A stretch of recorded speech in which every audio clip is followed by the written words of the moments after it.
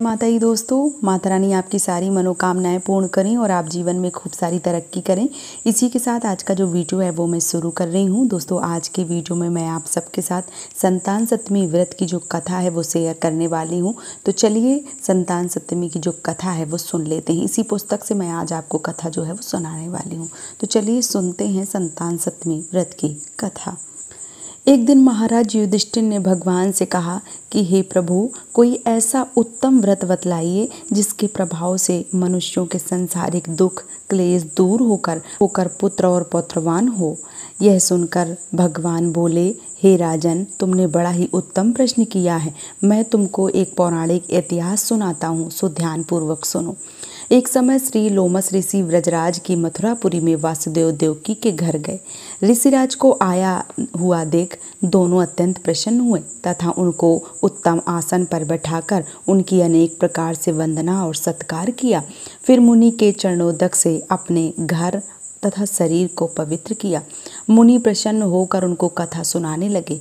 कथा को। कथा को कहते कहते लोमस ऋषि ने कहा कि, हे देव की दुष्ट दुराचारी कंस ने तुम्हारे कई पुत्र मार डाले हैं, जिसके कारण तुम्हारा मन अत्यंत दुखी है। इसी प्रकार राजा नहुस की पत्नी चंद्रमुखी भी दुखी रहा करती थी, किंतु उसने संतान सप्तमी का व्रत विधि विधान सहित किया, जिसके प्रभाव से उसको संतान का सुख प्राप्त हुआ। यह सुनकर देवकी ने हाथ जोड़कर मुनि से कहा कि, हे ऋषिराज, कृपा करके रानी चंद्रमुखी का संपूर्ण वृत्तांत तथा इस व्रत का विधान विस्तार सहित मुझे बतलाइए, जिससे मैं भी इस दुख से छुटकारा पा सकूँ।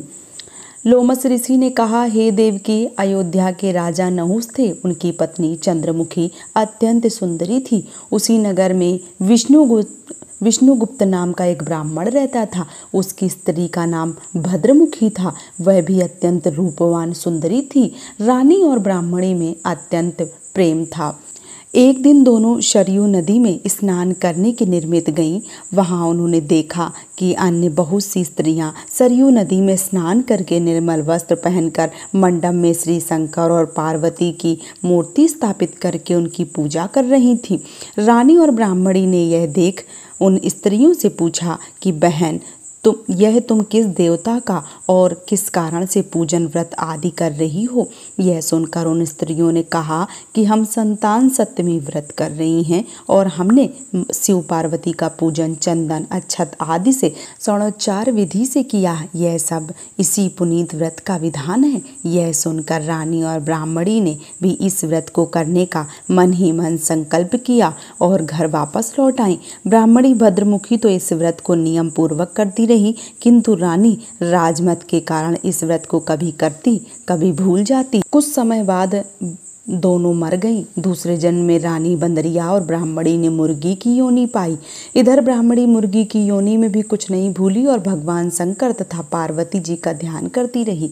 उधर रानी बंदरिया की योनी में सब कुछ भूल गई। थोड़े समय बाद इन दोनों ने देह त्याग दी।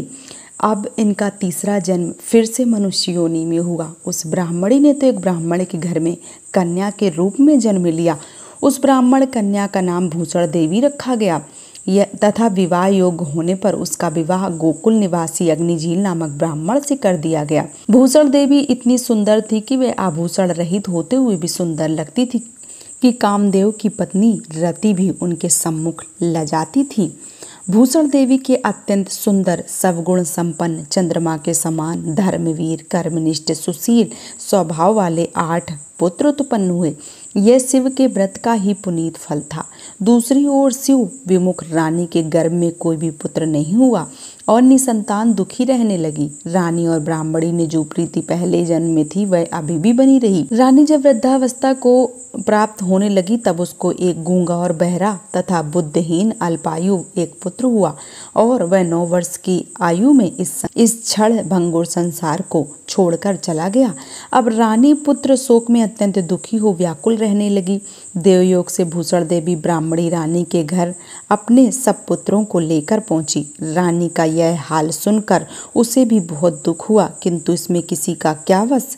कर्म और प्राप्त के लिखे को स्वयं ब्रह्मा भी नहीं मिटा सकते। रानी कर्मयुक्त भी थी, इसी कारण उसे यह दुख झेलना पड़ा।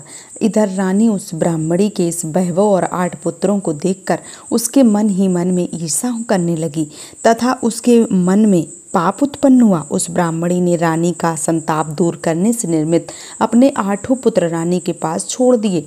रानी ने पाप से बसीभूत होकर उन ब्राह्मण पुत्रों की हत्या करने का विचार से लड्डू में विष मिलाकर उनको खिला दिए। परंतु भगवान शिव की कृपा से एक भी बालक की मृत्यु नहीं हुई। यह देखकर तो रानी अत्यंत आश्चर्यचकित रह गई और इस रहस्य का पता लगाने के लिए मन में ठान ली। भगवान की पूजा सेवा से निवृत्त होकर जब भूषण देवी आई तो रानी ने उससे कहा कि मैंने तेरे पुत्रों को मारने के लिए इनको जहर मिले लड्डू खिला दिए। किंतु इनमें से एक भी नहीं मरा। तूने ये तूने ऐसा कौन सा दान पुण्य व्रत किया है जिसके कारण तेरे पुत्र नहीं मरे? और तू नित्य नए सुख भोग रही है, तू बड़ी सौभाग्यवती है। इसका सब इन सब का भेद तू मुझे निष्कपट होकर समझा। मैं तेरी बड़ी रेड़ी रहूँगी। रानी के ऐसे दीन वचन सुनकर भूषण देवी ब्राह्मणी कहने लगी, हे रानी, सुनो। तुमको तीन जन्म का हाल कहती हूँ सो ध्यान पूर्वक सुनना। पहले जन्म में तुम राजा नहूस की पत्नी थी और तुम्हारा नाम चंद्रमुखी था। मेरा नाम भद्रमुखी था और मैं ब्राह्मणी थी। हम दोनों अयोध्या में रहते थे। मे, मेरी तुम्हारी बड़ी प्रीत थी। एक दिन हम तुम दोनों सरयू नदी में स्नान करने गए और दूसरी स्त्रियों के संतान सप्तमी का उपवास शिव जी का पूजन अर्चन करते देख हम दोनों ने भी इस व्रत को करने की प्रतिज्ञा की की थी।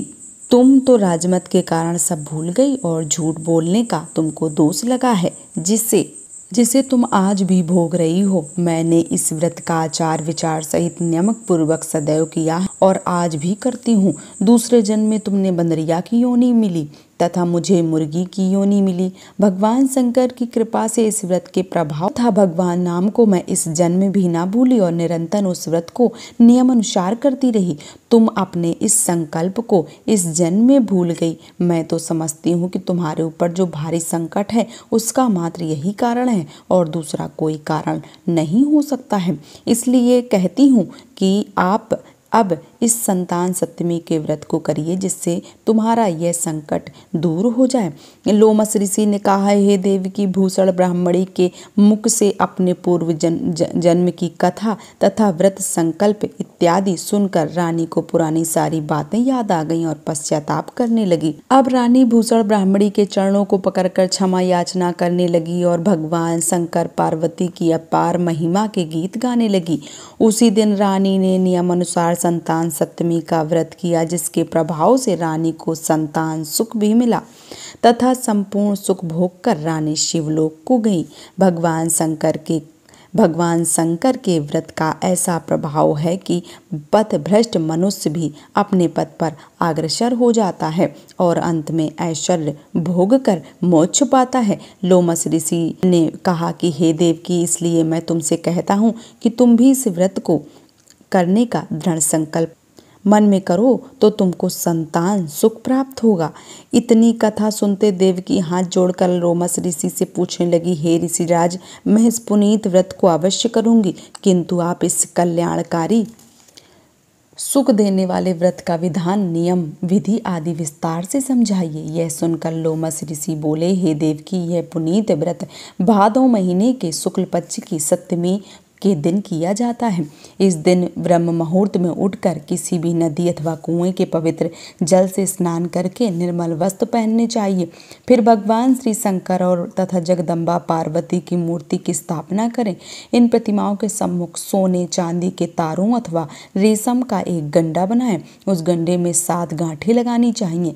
इस गंडे को धूप, दीप, अष्टगंध से पूजा करके अपने हाथ में बांधें और भगवान शंकर से अपनी कामना प्रार्थना सफल होने पर शुद्ध भाव से प्रार्थना करें। अंतर सात पुआ बनाकर भगवान को भोग लगाएँ। साथ ही पुआ एवं यथाशक्ति सोना और चांदी की एक अंगूठी बनवाकर इन सबको एक तांबे के पात्र में रखकर उनका षणोच्चार विधि से पूजन करके किसी सदाचार धर्मनिष्ठ, कर्मनिष्ठ पात्र ब्राह्मण को दान में दे दें। उसके पश्चात सात पुआ स्वयं प्रसाद में ग्रहण करें तथा इस प्रकार इस व्रत का पारायण करना चाहिए। प्रतिमास की शुक्ल पक्ष की सप्तमी के दिन हे देव की इस व्रत को इस प्रकार नियम पूर्वक करने से समस्त पाप नष्ट होते हैं और भाग्यशाली संतान उत्पन्न होती है तथा अंत में शिवलिंग की प्राप्ति होती है।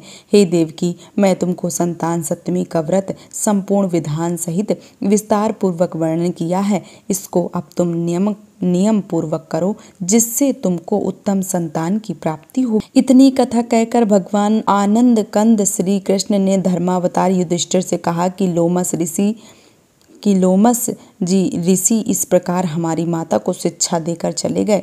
ऋषि के कथानुसार हमारी माता देवकी ने इस व्रत को नियम अनुसार किया, जिसके प्रभाव से हम उत्पन्न हुए। यह व्रत विशेष रूप से स्त्रियों को स्त्रियों को तो कल्याणकारी है, परंतु पुरुष भी, पुरुष को भी समान रूप से कल्याणकारी है। संतान सुख देने वाला, पापों का नाश करने वाला यह उत्तम व्रत है, जिससे स्वयं भी करें और दूसरों से भी कराएँ। नियमन, नियम पूर्वक जो इस व्रत को करता है और भगवान शंकर एवं माता पार्वती की सच्ची मन से आराधना करता है, वह निश्चय ही यश प्राप्त करके अंत में शिवलोक को प्राप्त हो जाता है। तो ये रही संतान सप्तमी व्रत की कथा। उम्मीद करती हूँ कि आप सबको पसंद आई होगी। वीडियो पसंद आया है तो मुझे सपोर्ट कीजिए, चैनल को सब्सक्राइब कीजिए। आज का वीडियो यहीं पर समाप्त कर रही हूँ। दोस्तों, जय माता दी।